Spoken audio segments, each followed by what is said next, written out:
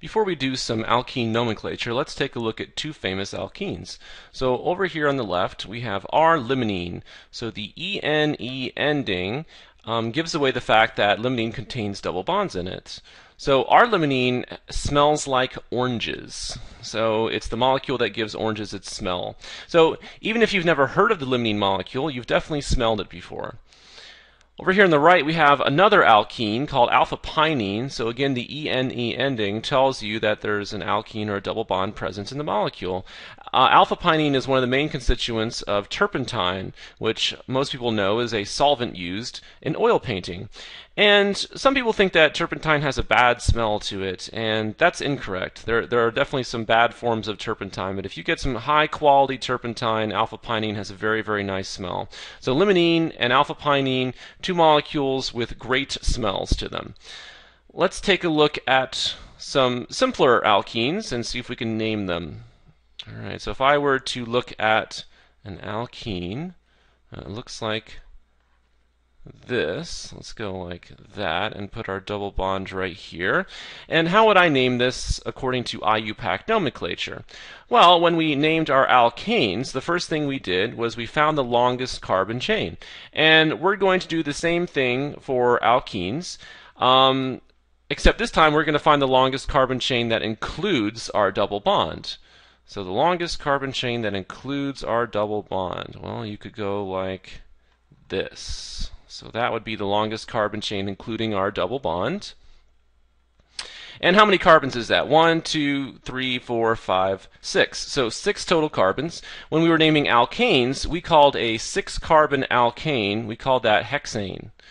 Obviously, we can no longer use that name. Uh, we do have six carbons, but we have a double bond present in, in the molecule, so it is an alkene, it is not an alkane. And we've just seen how the ENE ending is used to identify alkenes. So instead of an ANE ending for an alkane, we're going to use an ENE ending. So instead of hexane, we're going to call this hexene. When I go to my next step, I need to number my carbon chain, and I'm going to number it to give the double bond the lowest number possible. So I have two options. I could start from this carbon up here at the right, on the top right, I could make that carbon number one, or I could start down here with this carbon at the bottom. I could make that carbon number one. You want to give your double bond the lowest number possible. So I'm going to start with the carbon at the top right being carbon one. So if this is carbon one, this must be carbon two, this must be carbon three, four, five, and 6. So my double bond starts at carbon 2, so I'm going to go ahead and put a 2 in front of this and make it 2-hexene. So it's implied that the carbon, that, that the double bond finishes at the next carbon. So the double bond spans uh, the distance between carbon 2 and carbon 3. So I have 2-hexene here. So let's go ahead and finish naming this. I have to worry about my substituents. I have two methyl groups at carbons 4 and 5. So I could go ahead and name this 4,5 dimethyl, and then I have the 2 hexene like that. So that is an, an acceptable IUPAC way of naming. Although this is kind of an old school way of naming, and since I was taught by an old school professor, um, this is the way that, that I've always done it. So 4,5 dimethyl 2 hexene. Um, the other way of doing it would be to write 4, 5 dimethyl and then write hex, and then put the 2 between the hex and the ene. So hex 2-ene is a is is another way of writing it, and and this is the way that recent IUPAC recommendations uh, say to do it. So 4,5-dimethyl hex 2-ene is the more recent way of naming it. 4,5-dimethyl 2-hexene is the older way of naming it. Uh, for most professors, both ways are acceptable, but make sure to double check with your professor. All right, let's name another alkene. This time we'll talk about an alkene that's in a ring. So let's look at let's look at a molecule that looks like this. So let's go ahead and name that. Okay, well, find my longest carbon chain. In this in this case, it's a ring, right? So how many carbons are in this ring? There are six carbons in this ring. So a six carbon ring alkane would be would be cyclohexane. But since there's a double bond present in this molecule, we are going to call it cyclohexene. So I have cyclohexene. Okay, next thing we need to do is to number this molecule. So let's see, what could I do to number this molecule? Well, I could make this carbon number 1, or I could make this carbon number 1. And let's go ahead and draw this molecule again, and, and, let's name it those two different ways and see which one is the correct way to name this molecule. So let's let's start, let's say on the left, let's let's make this carbon number one on the left. So if I make that carbon number one, let's go ahead and put a color on it. So if I make this carbon number one, then that implies that the double bond starts at 1 and then finishes at 2. So this must be carbon 2 right here. And that makes this carbon 3 over here like that. On the right, I'm going to make this carbon number 1. So if this is carbon number 1, I have to go in the direction of the double bonds. So I have to make this carbon number 2.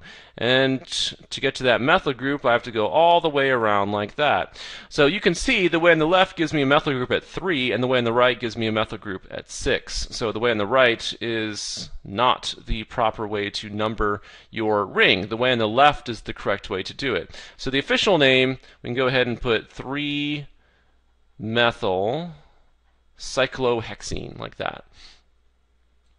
All right, what about some substituents containing double bonds? So what about if you had something like this coming off of your molecule? So we'll put a little funny line there to indicate this is coming off of a molecule. This is called a vinyl group. So a vinyl group. Let's look at another one that looks very similar to a vinyl group. So something like this coming off of your molecule will be called an allyl. So this is an allyl, and then on the left we have a vinyl group. So let's do an example that includes one of these substituents so we can see how to name it. So let's go like this. So how would we name this molecule? Well, once again, we have, we look for our our ring. So there are, let's see, six carbons in my ring. So it would be cyclo hexane, but since there's a double bond present, we know it's cyclohexene. So let me go ahead and write cyclohexene here. Now we have to figure out how to number this guy. So I could make this carbon number one on my ring, or I could make this carbon number one on my ring. And I think with the experience we have so far, it's obvious that I want to make the top carbon number one um, to give my substituent the lowest number possible.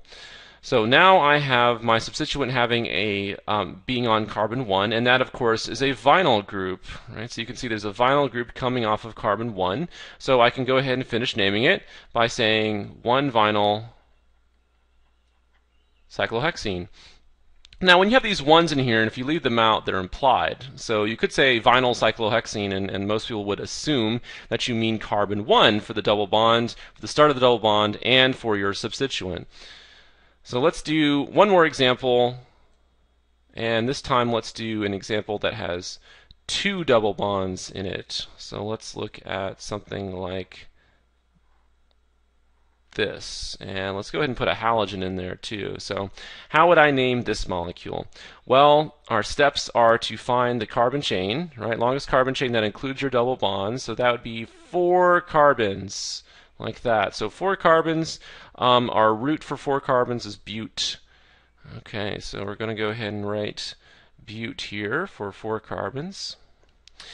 Now I have two double bonds in this molecule, and I need to figure out how to number my chain. I can start from the left or I can start from the right. And again, I think with the experience you have, you, you, you can pretty much figure out we're going to start from the left to make this carbon number one, two, three, and 4. If I do it this way, you can see that the first double bond starts at 1 and the second double bond starts at 3 and the, and the chlorine substituent comes off of carbon 2. If I chose the other way from the right, I would have the same numbers for the double bonds, right? The double bonds would be at 1 and 3 again, but I would have a number 3 for the chlorine substituent. So I think it's obvious that you want to start from the left here. So I have two double bonds at carbon 1 and carbon 3. So I have two double bonds. So how am I going to represent that? Well, I, start, I have two double bonds at 1 and 3. So I'm going to go like that.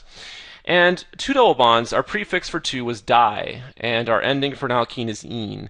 So I have diene. So I have a diene here, and so let's go ahead and write diene. So I have diene, and just to make the name sound better, if you put a vowel in here, it just flows better. So we're going to put an A to get 1,3-butadiene. And then to finish off the name, we have our chlorine coming off of carbon 2. So for halogens, we're going to write we're to write 2-chloro like this. So it's uh, chloro, bromo, fluoro, or iodo. So 2-chloro, 1,3-butadiene is the correct name for this molecule.